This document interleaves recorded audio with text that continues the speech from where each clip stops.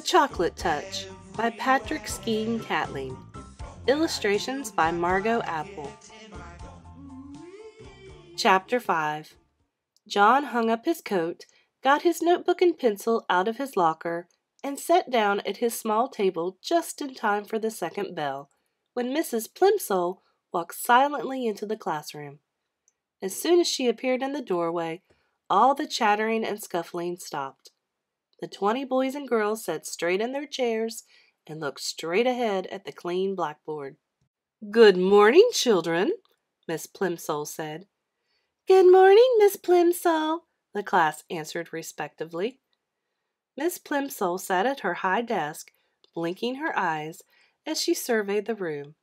Then she opened a little drawer in her desk and pulled out a spectacles case, from which she took her reading glasses. She removed her long distance glasses, put on her short distance glasses, snapped shut the spectacles case, replaced it in the drawer, shut the drawer, tilted her head forward so that she could look over the glasses on her nose, and said, This morning, children, we are going to have an important test. There were some groans and a few ahs and ahs. Miss Plimsoll lifted up one of her hands and silence was restored instantly. No complaining, please, she said sternly. This test will show me how well you have been learning your arithmetic this year. It will be a short one. I am going to write just four problems on the board. I shall expect you to solve them all swiftly and accurately and to write your answers neatly. You will place your paper in front of you now. You will write your name at the top right hand corner and then you will place your pencil beside your paper, sit back in your chair, and wait until I give the signal to begin work. Miss Plimsoll turned to the blackboard and began chalking up the test problems. Tests always made John nervous. Besides, his lips were feeling dry, and the taste of chocolate was strong in his mouth. He raised his hand. Yes, John, Miss Plimsoll asked. Please, May I go and get a drink of water, please, Miss Plimsoll? he asked in a small voice. Very well. Hurry back. We're going to start in a few minutes. John gratefully slipped out of the room and walked quickly down the quiet corridor to a water fountain. His tongue felt thick with chocolate. The cold water would be refreshing.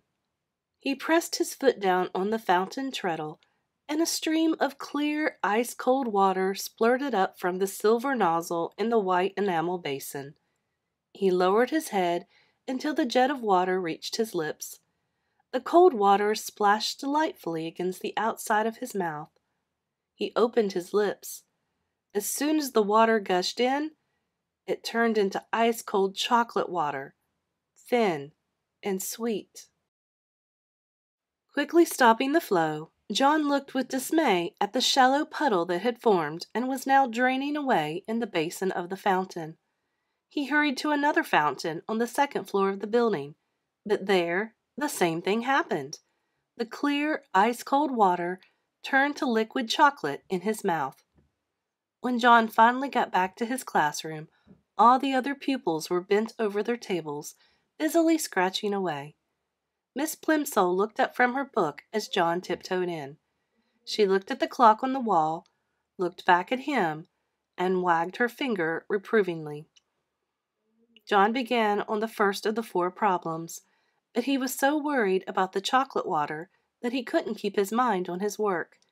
By the time he was ready to start the fourth problem, the other boys and girls were already putting down their pencils and straightening up and smiling at each other. Two minutes to go, said Miss Plimsoll. Concentrating hard, John took the end of his pencil between his teeth and began to nibble it. It immediately turned to chocolate. Then he noticed an even more disturbing change. Although he had taken the pencil out of his mouth as soon as the first piece of chocolate had crumbled off, the pencil was continuing to change to chocolate.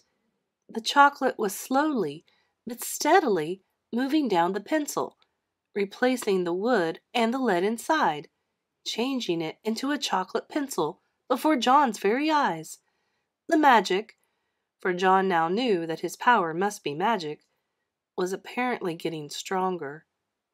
By the time the whole pencil had changed from red, yellow, and black to dark brown, Miss Plimsoll was announcing that only a few seconds remained in which to write down the final answer. Just a minute, John pleaded. Shh, Miss Plimsoll cautioned him, holding a finger up to her mouth. Shh, chorused the slow workers, who were becoming almost as excited as John. But John felt worst of all. He felt sure that he could finish the problem and write down the correct answer if only he had something to write with. But Miss Plimsoll, he begged in a loud whisper, my pencil's turned to chocolate. Hush, John, Miss Plimsoll said. I'll speak to you after the bell.